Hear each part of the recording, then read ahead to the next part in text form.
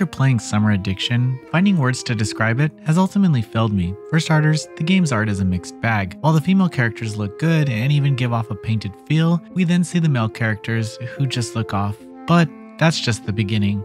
Swimmer Admiration features four characters you'll encounter that come off like caricatures of people you might know from similar stories. I found myself either dismissing the dialogue with a joke or just rolling my eyes. The demo available is short enough to complete in about half an hour or so, but leaves much to be desired.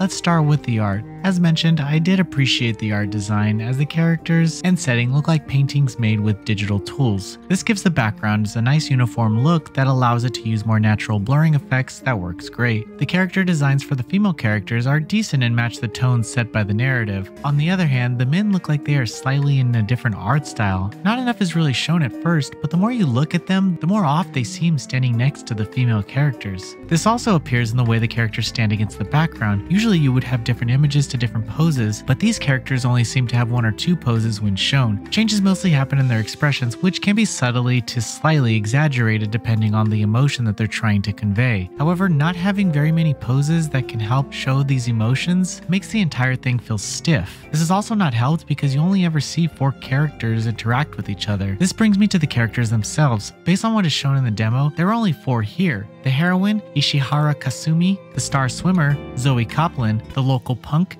Aiden, and Coach Miller. With the little time you get with them, they all seem very one dimensional, but the two female characters have the most room to change and grow, considering the story seems to focus only on them. Still, the two main characters don't seem to show the slightest chance of growth and are set up in a way that unless something drastic happens, I can pretty much know where their role is gonna lie. There is still plenty of time before the full release of Swimmer Admiration for changes to be implemented. From what I've seen in the story, I hope that the narrative expands on what was shown. Still, even if these changes are made, I found it hard to see myself going back to it upon the full release, based on the tone of the game alone, but these changes would go a long way to making it a better product for fans of this genre. Swimmer Admiration is currently in development for PC and mobile devices. Thank you for watching this preview. Noisy Pixel is run by a group of gamers who work hard to deliver news, reviews, previews, and more. Please subscribe to keep up with all our future content.